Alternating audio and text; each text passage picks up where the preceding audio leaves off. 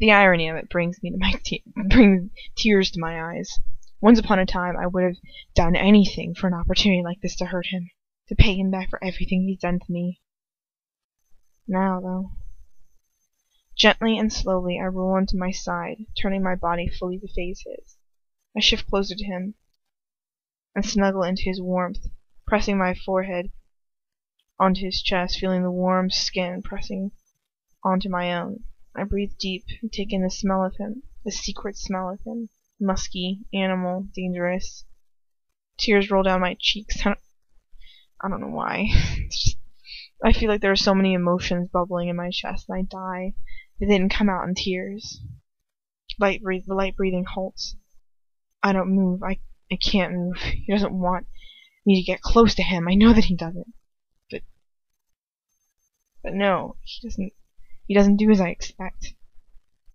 His eyes, his arms, wind tighter around me, pulling me closer to him, holding me so close that I can barely breathe. He doesn't say anything, and neither do I. But he's awake. And I know that he I know that he is. And in this beautiful moment he's holding on to me, clinging to me just like I cling to him, because he needs me just as much as I need him. Yes, he's awake. I can feel his arm curl around me and creep up my back, tangling his fingers in my hair. As somehow, somehow he pulls me yet closer to him. I don't say anything. I don't even open my eyes.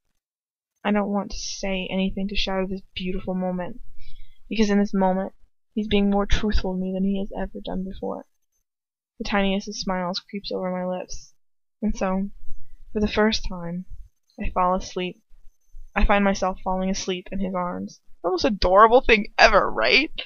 Aren't you gushing like a little girl right now? It's adorable. He's like so in love. Okay, I'm done.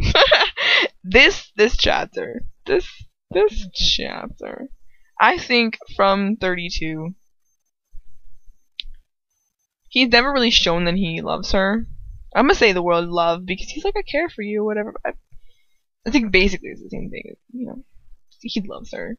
So basically, I'm saying that he's loved her for a while. I don't think he gets what love is, and I think that he's starting to really actually show it at this point. Like he really is like kind of like, you know, I fucking hate you for like the first half of this book, and it, like he really did. And he's like, I find you interesting, and he's like, I really enjoy talking to you, and it's weird, and now he's like, love you, totes love you, can't handle it but I'm not denying it. I wake up, drifting into consciousness once again. His arms isn't his arm isn't around me anymore. I open my eyes. There's no one in the bed next to me. I sit up quickly, looking out into the room. What if he's gone? Left me here alone. But no. I breathe again as I see him, standing in front of an open cupboard. There's a thud as he puts something down before he closes the door on whatever it is. I pause as he sees me. He looks like a different man from the one I saw last night. Fully clothed, his expression, his expression guarded, his eyes cold. He opens his mouth as if he's about to say something, but then he closes it again. I self-consciously tuck a lock of hair behind my ear, not really knowing what to say. He breathes the silence. He breaks the silence eventually. Aren't you going to get dressed? He asks, his voice clipped. I press my lips together, hastily climbing out of the bed and running to the middle of the floor to pick up my robes as quickly as possible, flushing with humiliation. He just watches me, one eyebrow raised slightly, as I crump as I scramble for the robes, pulling it over my head, hastily arranging it so it's completely clothing me once again. And then he stands still. The pair of us just look at each other. I don't know what to say. After what happened last night, I just I don't really know where we stand anymore. Mind you, with him, I never really know where I stand. A knock comes at the door, making me jump out of my skin. Lucius! Oh god. Oh god, I can't breathe. It's Avery. Lucius looks at me, his eyes wide with fear. Lucius, I, I need to speak with you. It's urgent. Lucius whispers before he strides across the room, picking up an invisibility cloak from the floor and throwing it over me unceremoniously. He checks to see if I'm completely covered before he turns and walks to the door, opening it. Avery stands in the door open doorway, his face, as always, expressionless.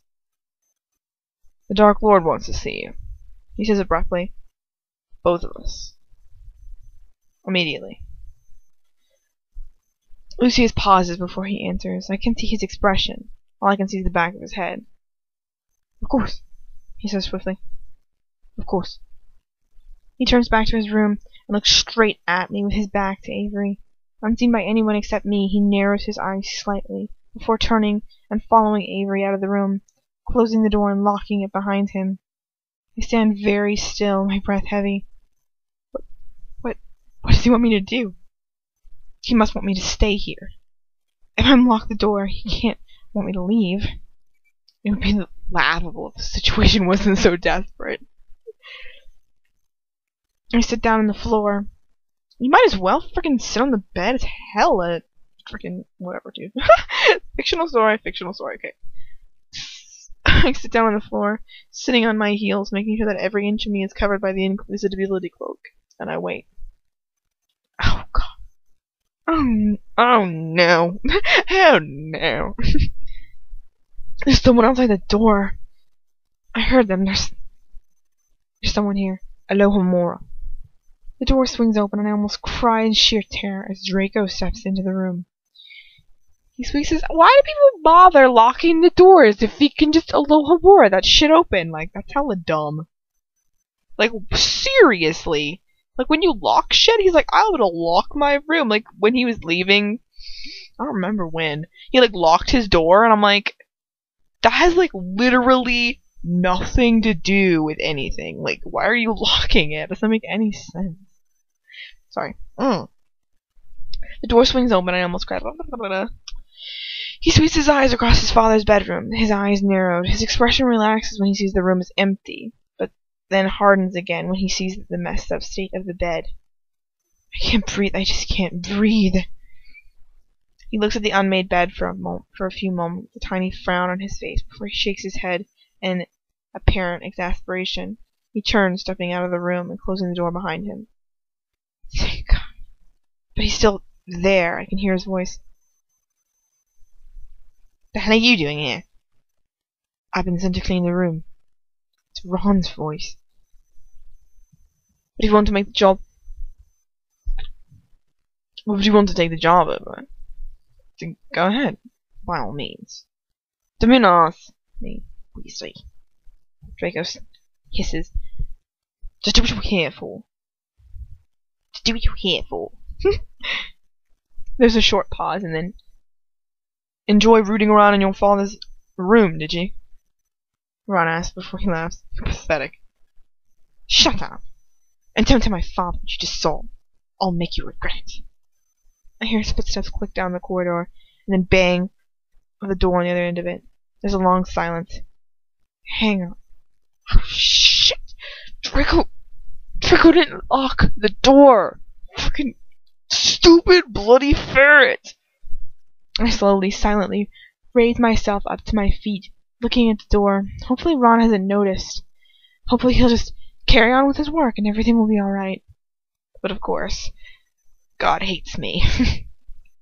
Slowly the door handle moves. See, God hates me. Get it. Get it. Get it. Good it. Get it. Get it. Get the symbolism. Get the metaphor. Get it. Get it. Get it. Ray Bradbury beating you over the head with that symbolism. Oh my god, it's everywhere. I like just okay. I don't want to sound like an idiot. I read a lot of literature, but I like just like sat there in my in uh, the other room, the room next to my room, which is like my living not living room. Uh, it's a TV room. It's like got a bunch of pull-out couches that turn into beds and like a, TV. I used to watch True in there during spring break. Uh, anyways, I was reading when I was doing all of the, the crap. I was in there. Anyways, not the point. But I was doing that, and I just sat there for a second, and I'm like, oh my god, it's a fucking allusion to the Bible. And then I was like, I'm not religious. Like I'm, I'm like straight up ne- never read the Bible, never heard any. I've never been to Sunday school. I don't know anything about the Bible other than like the real basics, and I don't really think in terms of like, oh, that's an allusion to the Bible from X Y Z. Cause I don't really believe that people I don't know. I guess it's like the most alluded to thing, so it's kind of stupid to think that way, but this doesn't just naturally come to mind. Anyways, I was like, oh my god, there's a fucking allusion to the Bible, dude. Like she's fucking Eve and he's fucking Satan. And it's like she's fucking Satan, get it? Sorry. Mm, anyways, and it's like the fall of man, and I was like, the fall of man. Oh my god! And then I was like, God, with all the mention to God, where she's like, oh, you know, I'm praying to God, blah blah blah blah. Also, the fact that, by the way, that like she's like, oh, man, she's like, she always prays, and every time this is, I don't even know this has anything to do with the Bible, but like every time she prays, Lucius comes. Like, if you notice that, if you read, like she'll pray and she'll be like, please help me, or please, I'm just asking for blah, fill in the blank. And then everything she prays for actually does come true, and everything she asks for, whenever she asks for help, or whenever she asks for salvation, it is always him that gives it to her. Like he is like she's like, oh, Lucy's mouth with the answer to my prayer. She says sarcastically, but it's like it's so freaking true. It's like he is, he is her knight in shining armor in like the most disturbing way possible. but I mean, he died. He is he's her savior, and her. I don't even know her. That's the worst thing that ever happened to her. Whatever you want to say that for. But the yeah, also mention to God. Straight up cray cray. Anyways, I'm so tired, except not really at all, and I haven't read any of Madam, but no, not even Madam, Heart of Darkness. I'm supposed to read section two, and I'm just not gonna read that book, I've decided. Not even that long, and I'm like, no, I'm not in the mood. I'm not in the mood to read that. As I read Eden. I don't care, like, it's the end of the year, and I don't fucking care. It's like freaking. Oh my god! It's almost May, guys. It's so exciting. It's the 24th today.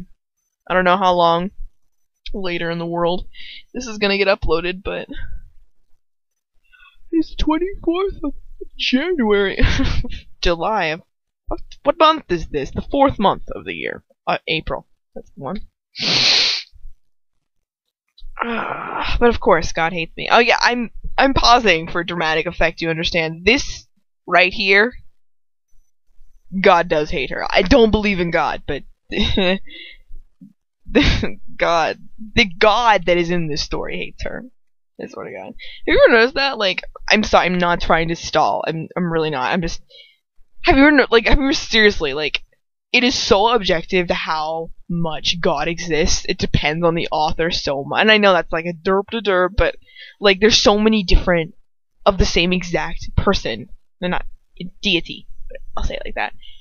Because he's in like all books, you know what I mean? Because he's the dude, but he's so different. Like he's like, oh, he's like, oh, forgiving or not forgiving, and he'll do whatever you know suits the author, or whatever, or doesn't really suit the author, the characters, you know, wants or whatever. But it's kind of like it's amazing to think that even in literature he exists because you know all fictional characters exist.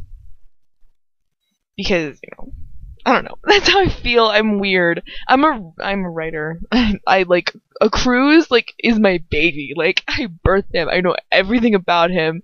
I love him to death. And even though he's a fucking asshole sometimes, not even the point. But like I like in my soul like he's as real to me as other people. Like I know more about him than I do about other people. I mean, some other you know strangers, people that I don't know very well, and even some of my friends. Like it's just, and it's not even when you're a writer. Like I don't know if people understand this, but like when you write, like you can have in mind, you can have in mind what you're gonna say, but they exist. You know what I mean? Like I can write, and he just says things. Like I just type it, and I'm like, why? Like why am I going in this direction? And then who, Jen, who's his love interest, it just answers him, and like they're both in character, of course, but it's just kind of like they. It's not just me. I don't know. I'm sounding like a weirdo. Uh, it's not just me, and it's not just them. They exist, and they're just kind of in me, and they just do what they're gonna do, and they just have the conversation that they want to have, and it's not really up to me as much as I want. and then I'll try to fix it, and I'll be like, it's not it's not fixable because it's not broken. It's just not. I don't know. Anywho's a Medea. The shit is gonna hit the fan. Is everyone excited? I'm building up tension. Is really what's happening here. Ron is in Luce's room, Hermione is under an invisibility cloak. Is the shit gonna happen? Isn't it gonna happen? Is it gonna build up and then fall flat? Like other shit in this book has